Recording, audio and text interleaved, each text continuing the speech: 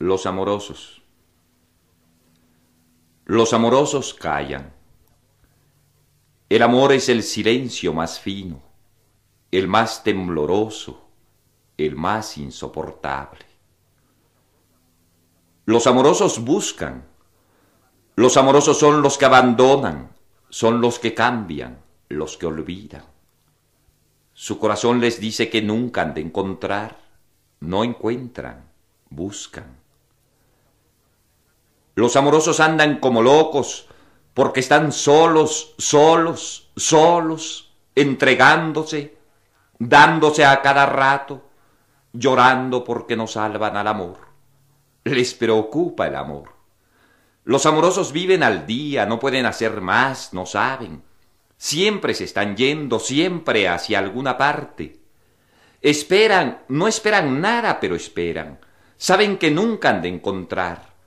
El amor es la prórroga perpetua, siempre el paso siguiente, el otro, el otro. Los amorosos son los insaciables, los que siempre, qué bueno, han de estar solos. Los amorosos son la hidra del cuento.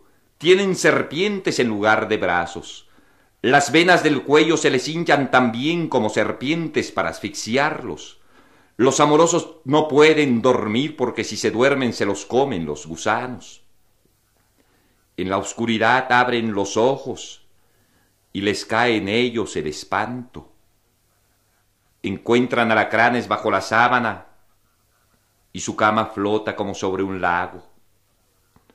Los amorosos son locos, solo locos, sin Dios y sin diablo.